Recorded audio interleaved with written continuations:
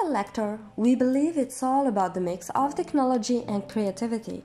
That's why our focus in the January February 2023 issue is on the hot topic of audio and video, both analog and digital, with a practical and theoretical approach.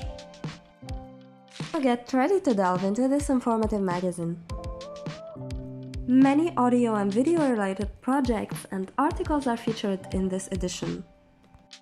Our cover story is a must read. With just a budget friendly controller board, few components, and an open source software, you can output video signals that can be viewed on a monitor. Mathias Claussen has written an in depth article on how to do this.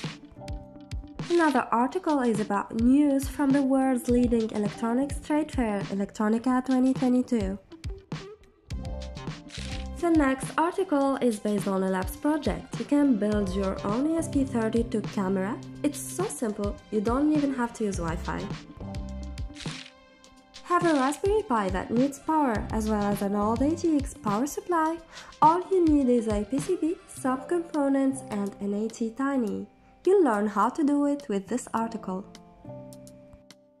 Another article is about a 32 ohm headphone amplifier, a simple but high quality 3 chip solution. Another episode of the series starting out in electronics and this time it's about special diodes. An interesting article from Life Experience.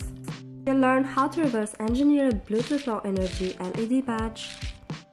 In another article, you'll discover the MakePython ESP32 dev kit.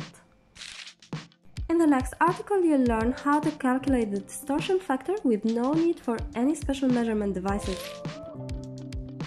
And if you are like me curious about the technology behind today's industrial vision systems, this article is for you.